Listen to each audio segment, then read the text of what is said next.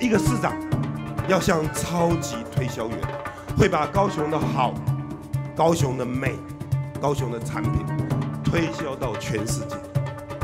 韩国儒真的有这个本领，我一定会把高雄行销出去，让高雄最美好的东西卖得出去，人进得来，高雄